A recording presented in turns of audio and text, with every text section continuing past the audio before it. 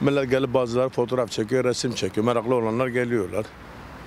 Güzel bir duygudur. Doğanın güzel bir duygu. Güneş hangi yöne gönse zaten onlar da başı o yöne çekiyor. Sabah mesela diyelim ki sabah güneş doğdu. Güneş oraya vuruyor. Buraya doğdun bu tarafa vuruyor.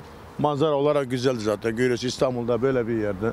Manzarası çok güzeldir yani. Valla genelde 2-3 araba geliyor yani. Kendisi arabayı park ediyor. Gelip içinde fotoğraf çekip getiriyorlar yani. Gidiyorlar yani. Her gün ge- geliyorlar. Millet her gün geliyorlar. Bayan, erkek, çocuk her gün geliyorlar. Her gün çek, fotoğraf çekiyorlar, her gün geliyorlar. Ya millet geliyorlar, manzara için geliyor mesela. Manzara için geliyor, adak da kesiyorlar. Evet doğrudur.